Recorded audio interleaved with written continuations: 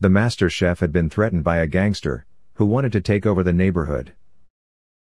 The chef had been given one week to raise a large sum of money, or they would have his restaurant demolished. He didn't dare go to the police, so to make himself feel safe, he called me. I promised to sort out the situation.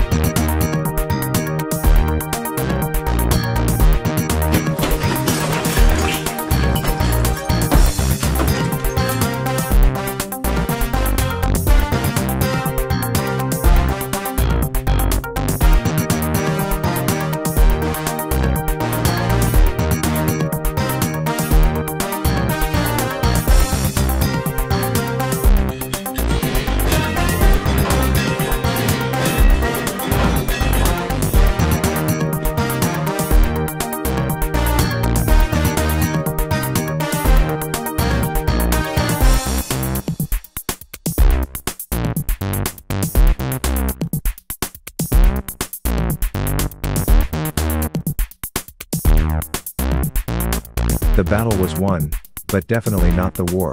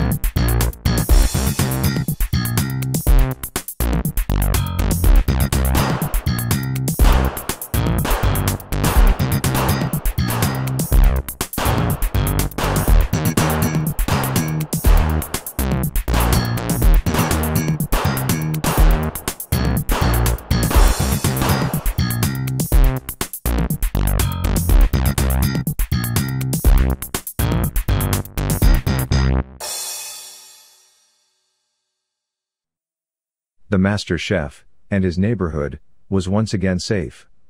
I couldn't think of a better way to end this day, than grabbing a bite at his gourmet restaurant.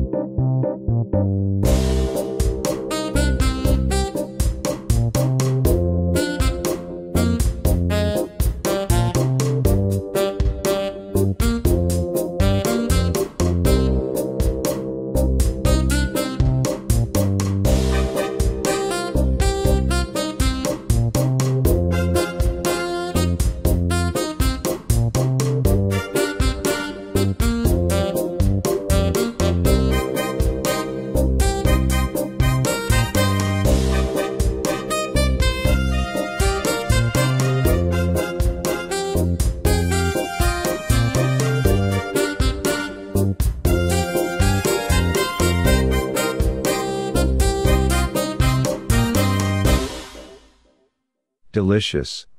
Case closed.